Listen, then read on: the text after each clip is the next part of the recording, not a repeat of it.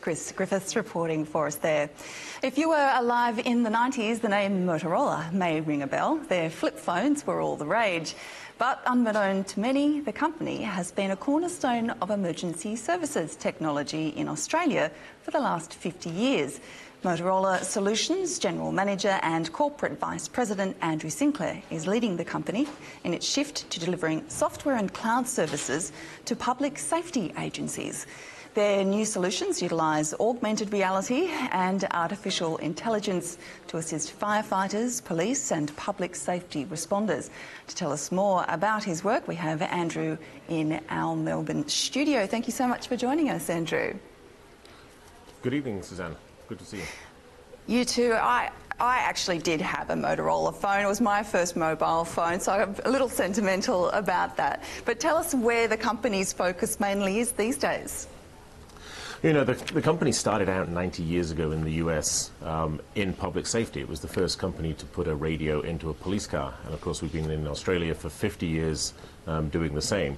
The focus now is really on public safety and critical in infrastructure and really driving that transformation away from just basic radio to workflow integration and, as you say, new technologies that will aid uh, public safety.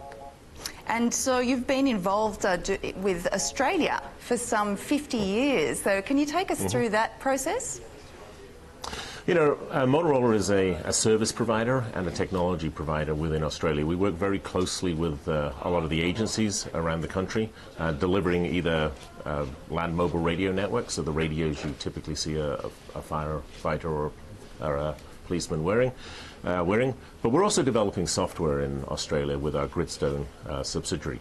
And we're really at the forefront of driving mobility, so putting uh, typical consumer devices like iPhones, ironically, into the hands of the police and using those to drive better outcomes by allowing them to spend more time on the beat and less time back at the office filling in forms. And also, um, innovations such as uh, instead of having a, a, drawn picture of a suspect, perhaps uh, mm. the, the, example of taking a photograph and, and sending that to the police.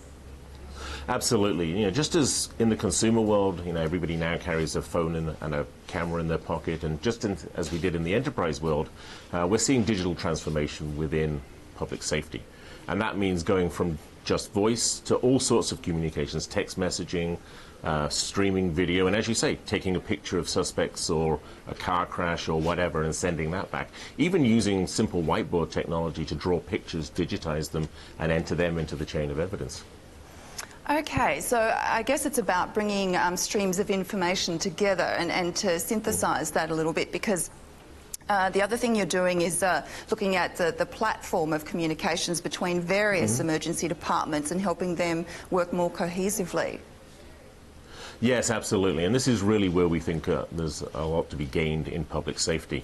It used to be that public safety uh, agencies worked very much in silos on point solutions. Today, and particularly with the, the work that we're doing to drive a platform of technology, everything from triple zero uh, call taking through what we call computer aided dispatch. That's the operator sitting there talking to the first responders, making sure they have all the right resources, all the right information, all the way through to records management, analytics, and as you say, machine learning on top of it. We're turning that into a platform, and we're seeing agencies adopt that, and more importantly, we're seeing them collaborate together adopting that. For instance, in uh, Western Australia, we're seeing the fire department and the police department working together on a common platform so that they can share information, so that they can drive better incomes, uh, outcomes by working together. And, and, looking ahead, how do you envisage a, a future command centre working? Yeah, it's very similar to what we're seeing in the enterprise, where you know we've moved away from people using desk phones to people using workflow applications that have things like video and audio integrated. The future command center really is an integrated solution with information information flowing through the entire system.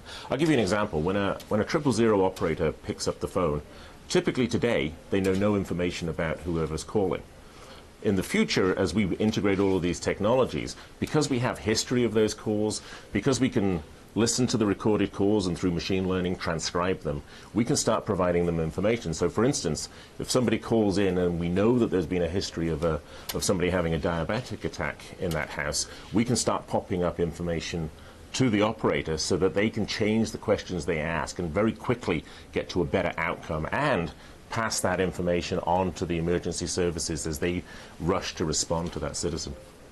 Well, it sounds like uh, Motorola is going to have a, a very positive uh, role to play in Australia's future. Andrew Sinclair, thank you so much for joining us.